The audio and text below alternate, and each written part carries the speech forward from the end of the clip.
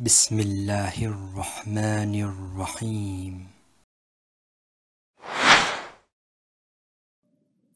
Assalamu alaikum. The goal of this video series is to try to help everybody have a basic understanding of the Quran as they recite it. The idea is pretty simple.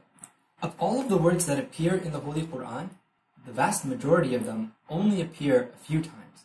In other words, by just gaining mastery over a few commonly appearing words, you'll be able to understand most of the words that you recite in the Holy Quran.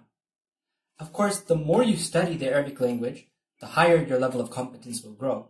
But it turns out that with just a little bit of study, you'll actually be able to achieve a pretty high level of confidence, enough to have a pretty strong basic understanding of the general concepts behind most of the verses. Let's make sure we're clear on what we're not trying to do.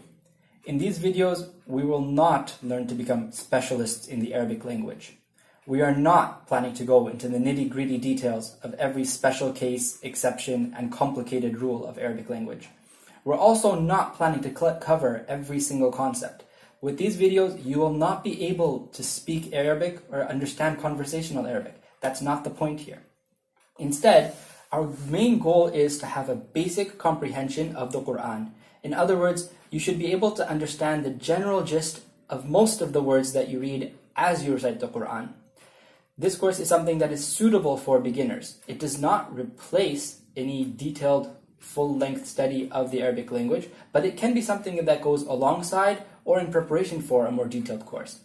The most important feature of this course, the videos are going to be short.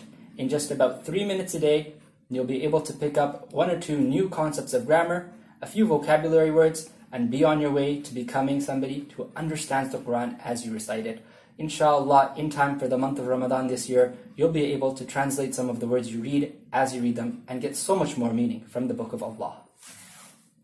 If you think this is something that would benefit you or you'd find useful, make sure you subscribe to this channel so you can stay up to date on notifications as we go along. Also, feel free to share so that others can join along too. We look forward to learning the Arabic language of the Quran with you.